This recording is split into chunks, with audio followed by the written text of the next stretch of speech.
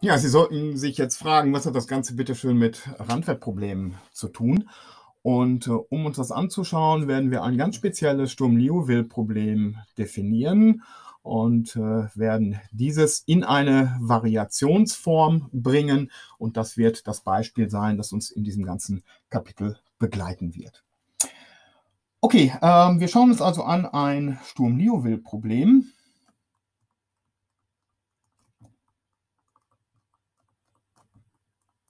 Ein Sturm-Liouville-Randwertproblem mit gemischten Randwerten. Sie werden gleich direkt sehen, warum dieses Problem gerade für uns so interessant ist. Nun, diese Sturm-Liouville-Probleme, da suchen wir immer eine Funktion y, die die folgende Differentialgleichung erfüllt, minus p mal y', Strich, ausgewertet an der Stelle t, plus q von t, y von t. Gleich f von t. Und ähm, wir geben Randwerte vor bei a und b. Und in diesem Fall geben wir vor die Randwerte y von a. Gleich 0, also homogene direkte Randwerte auf der linken Seite. Und homogene, homogene äh, Neumann-Randwerte auf der rechten Seite, also y' von b gleich 0. Okay, ähm, wir machen die Einschränkung, dass p von t größer gleich p0 größer 0 ist und dass q von t größer gleich 0 ist. Und äh, denken Sie daran, das ist äh, der Fall, wo wir vermutet haben, dass wir tatsächlich immer eine Lösung des Randwertproblems haben. Und eine typische Wahl, die wir schon im äh, Kapitel davor gemacht haben, war die folgende. Wir wählen P konstant gleich 1 und Q gleich 0. Und in diesem Fall hätte die Differentialgleichung einfach die einfache Form minus y2' von t gleich f von t. Und äh, das war das, was wir als Poisson-Gleichung bezeichnet haben. Das heißt also, diese alten Beispiele aus der Vorlesung, die können wir hier weiterverwenden. Ähm, die passen alle in dieses Setting rein. Okay, also abgesehen von den Randwerten. Okay, äh, wir wollen das jetzt in eine Variationsform bringen. Und äh, wie könnten wir das tun? Naja, wenn wir uns oben die Differentialgleichung anschauen, äh, dann sehen wir, äh, wenn wir das f von t auf die linke Seite bringen, es mal anmarkern hier. Also wenn wir in dieser Definition, die wir hier vorne haben, ja, das geht jetzt natürlich gerade schief. Na. Wenn wir in dieser Definition der Differentialgleichung, die wir hier haben, einfach da mal das f von t auf die linke Seite bringen, dann sehen wir, die Differenz der linken und rechten Seite ist natürlich 0. Das heißt also, das passt in unser Setting aus dem letzten Video. Und wenn wir das jetzt mit einer Funktion phi multiplizieren, dann bekommen wir sowas wie, und dann das Ganze integrieren, dann äh, bekommen wir diese Form aus dem letzten Kapitel. Und genau das wollen wir mal tun. Das heißt also, wir nehmen mal eine Funktion phi, erstmal aus, äh, meinetwegen aus äh, C0 unendlich. Wir was anderes nehmen und äh, multiplizieren die Gleichung, die da oben steht, mit diesem 4 und nehmen das Integral von a bis b. Und dann haben wir sowas da stehen wie das Integral a bis b minus p mal y' von t mal phi von t plus q von t, y von t, phi von t dt gleich Integral a bis b, phi von t, f von t dt. Okay, ähm, und unsere Idee ist natürlich, dass unser, das vorhin unser letztes Video gesagt hat, naja, also äh, wenn diese Gleichung richtig ist für alle Phi, zum Beispiel aus, für alle Phi aus 10 0 unendlich, dann folgt schon, äh, dass die Differenz von der linken und rechten Seite hier oben 0 ist, mit anderen Worten, dass die Differentialgleichung erfüllt. Okay, Gut, ähm, wir wollen das, was da steht, äh, noch ein bisschen anders schreiben. Und äh, zwar wollen wir partielle Integration machen. Ich habe schon gesagt, das wird eins unserer Hauptwerkzeuge ähm, sein. Und dann ist das hier äquivalent dazu, dass das Integral a bis b, naja, davon haben wir das minus p mal y Strich, Strich mal Phi. Wenn ich da partielle Integration mache, dann steht hier sowas wie p mal y Strich von t, Phi von t plus q von t, y von t, phi von t dt. Und ähm, ja, äh, da kommt noch ein Randwert dazu, den diskutiere ich gleich. Das ist, wäre dann also gleich dem Integral von a bis b, phi von t, f von t dt. So, ähm, mehrere Sachen. Jetzt das erste Mal, jetzt sehen Sie, warum wir die ganze Zeit dieses bekloppte Minus hier vorne mitgeschleppt haben bei den Sturm-Liouville-Problemen. Wir werden nämlich alle Probleme in dieser Form hier vorne betrachten und jetzt sind wir das Minuszeichen los. Ja, das war der Grund, warum ich das die ganze Zeit über dahin geschrieben habe. Ähm, dann, ähm, es kommt natürlich eigentlich noch hier vorne ein Randwert, also ein, ähm, so ein Randwert dazu, ja, wenn ich hier vorne die partielle Integration mache. Und das ist sowas wie, äh, eigentlich steht hier noch so ein plus p mal y' mal phi in den Grenzen von a bis b. Naja, aber wenn das Phi aus C0 unendlich ist, C0 unendlich von a, b, ähm, das soll ich da oben hinschreiben, dann bedeutet das, dass Phi auf dem linken und auf dem rechten Rand verschwindet. Und äh, das heißt, dieses, das ist null, was da steht. Ja? Das heißt also, wenn ich äh, die, mir diese Gleichung anschaue, die da vorne steht, dann kann ich erstmal sagen, äh, okay, also wenn das Phi die Differentialgleichung erfüllt, dann, äh, wenn, Entschuldigung, wenn das y die Differentialgleichung erfüllt, dann erfüllt das y auch diese Integralgleichung. Und zwar zunächst mal komplett unabhängig von den Randwerten. Ich möchte das, was da steht, also diese linke Seite hier vorne, dieses ganze Ding, das möchte ich mal bezeichnen als, also dieses obere Integral, das möchte ich mal bezeichnen als b von äh, y und phi. Und hier oben die rechte Seite, die möchte ich mal bezeichnen als f von phi. Und was wir jetzt gezeigt haben bis jetzt ist, äh, wenn y die Differentialgleichung erfüllt, dann gilt b von y und phi gleich f von phi. Ich möchte das ähm, ein bisschen anders formulieren und in einem Satz zusammenfassen. Und zwar, ja, machen wir ruhig, machen wir ruhig rot. Das ist also, ich möchte einen Satz formulieren. Und zwar definiere ich mir mal x gleich die Menge aller u aus C1 von AB. mit der Eigenschaft, dass sie auf dem linken Randwert verschwinden. Das heißt also, U von A ist gleich 0. Äh, erstens, falls U aus x das Randwertproblem, von oben natürlich, erfüllt.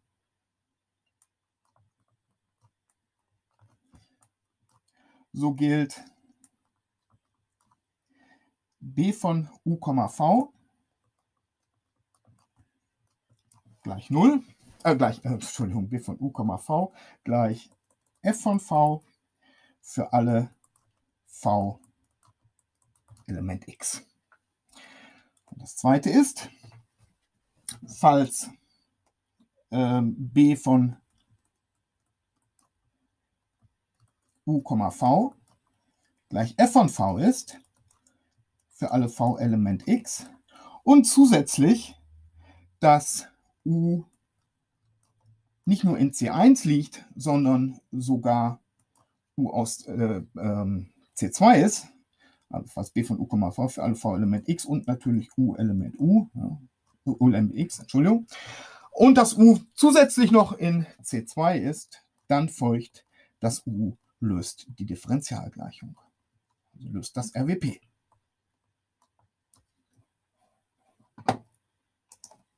Ja, das wollen wir schnell beweisen.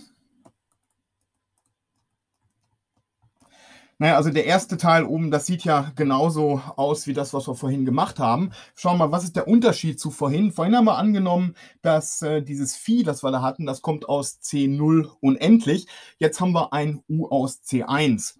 Wo haben wir das denn wirklich benutzt hier oben, dass das Phi aus C0 unendlich war? Na, eigentlich nur hier vorne an dieser Stelle. Ja, da haben wir nämlich gesagt, dadurch damit argumentiert, das Phi ist 0 auf dem Rand und deshalb fällt dieser Randterm hier vorne weg. Ähm, können wir hier auch einen Grund dafür finden, dass, ups, dass, dass, dass, die, dass der Randterm weggeht. Naja, also das, äh, wir haben also so ein p mal y' Strich mal Phi in den Grenzen von a bis b, also jetzt bei uns hier ein p mal äh, u' Strich mal v.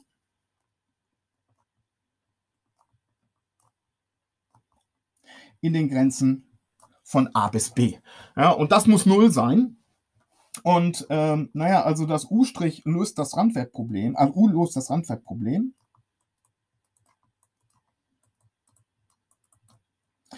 Naja, also äh, daraus folgt natürlich erstmal, das U liegt in U, äh, liegt in X. Das heißt, es gilt natürlich U von A gleich 0 und es gilt U' von B gleich 0. Naja, das U' von b gleich 0, das ist super. Ja, also damit geht hier vorne die rechte Seite weg. Wenn ich das b hier vorne einsetze, geht das hier vorne raus. Okay, das v kommt aus x. Das heißt also insbesondere gilt v von a gleich 0.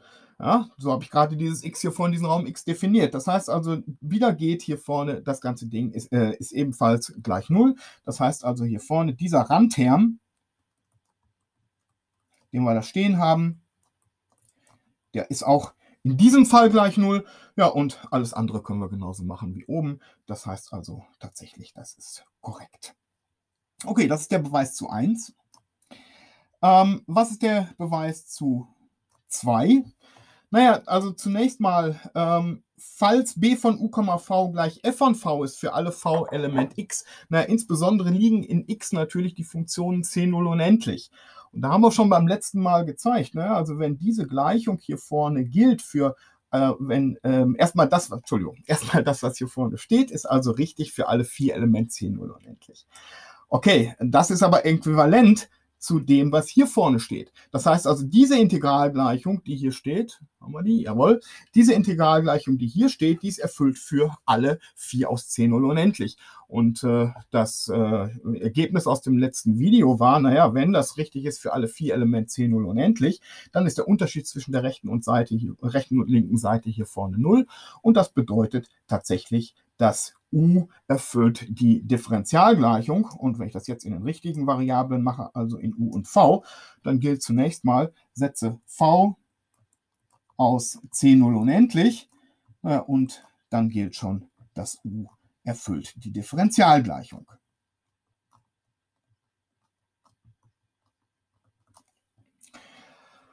Okay, äh, wie sieht es mit den Randwerten aus? Naja, also das u war aus x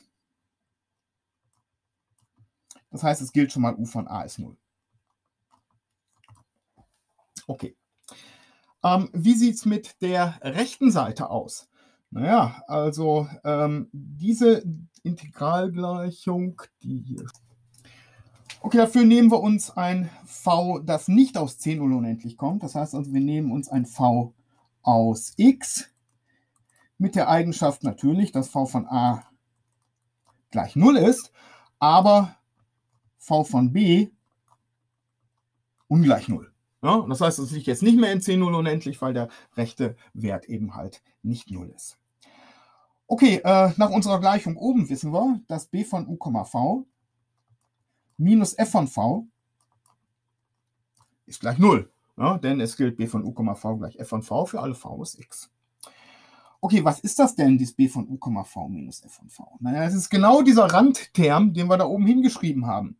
Ja, also das b von u, v ist hier oben dieser Integralterm. Ups, jetzt habe ich es verloren. Das b von u, v, das ist genau dieser Integralterm hier vorne. Das f von v ist genau dieser Integralterm. Das heißt also, wenn ich äh, die beiden jetzt voneinander abziehe, dann bleibt, äh, dann ist das hier vorne 0 Entschuldigung, ich war für einen Moment un unkonzentriert. Also b von u, v minus f von v. Schauen wir uns das an. Das ist der Unterschied dieser beiden Integralterme hier vorne. Okay, wenn wir das wieder umschreiben mit Hilfe der partiellen Integration, ist das wieder dasselbe wie diese gleich, wie diese, ist dasselbe wie diese beiden Integrale hier vorne. Ähm, und äh, der Unterschied ist wieder, naja, wir wissen nicht, ob dieses, äh, der Unterschied ist wieder dieser Randterm hier vorne. Ja? Okay, jetzt wissen wir aber schon, wir haben gerade gezeigt, dass u erfüllt die Differentialgleichung. Wenn das u die Differentialgleichung erfüllt, dann bedeutet das, dieser Term hier vorne, der, der ist gleich 0. Okay, das heißt also, wenn dieser Term hier vorne 0 ist, dann ist der Unterschied äh, zwischen, also dieser, diese beiden Terme hier vorne sind gleich, dass der Unterschied zwischen der linken und rechten Seite ist 0. Okay, das heißt, der Unterschied äh, b von u, v minus f von v, ähm, das ist genau hier vorne dieser Randterm, der da vorne steht. Das heißt, das b von u, v minus f von v ist nichts anderes als das äh, p mal u' mal v in den Grenzen von a bis b. Okay, ähm, wir wissen schon, äh, dass äh, v von a ist 0. Das heißt also, der Term bei a, der fällt mit Sicherheit weg. Und äh, wie sieht es mit dem Term an der Seite b aus? Das ist also p von b mal u' von b mal v von b. Naja, und das ist das gleich, das ist das b von u, v minus f von v. Das heißt, das hier vorne, das ist 0. Jetzt wissen wir aber, dass p von b ist größer gleich p0 größer 0. Das heißt, das ist mit Sicherheit nicht 0. Das v von b, naja, das haben wir gerade so gewählt, da haben wir irgendeine Funktion v gewählt mit v von a gleich 0. Das heißt, das konnten wir mit Sicherheit so wählen, dass das hier zum Beispiel größer 0 ist. Ich habe da vorne ungleich 0 geschrieben. Die einzige Möglichkeit, wie das 0 sein kann, ist, dass das u' von b gleich 0 ist. Das heißt also, wenn b von u, v minus f von v gleich 0 ist für alle v Element x, dann gilt natürlich erstmal u von a gleich 0 und es gilt aber auch u' von b gleich 0, denn sonst kann die rechte Seite hier vorne nicht erfüllt sein.